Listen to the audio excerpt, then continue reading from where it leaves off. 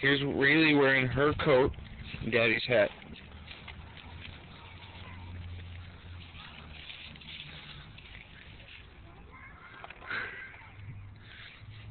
Fix your hat. There we go. Rayleigh. Say hi. Yes, hi.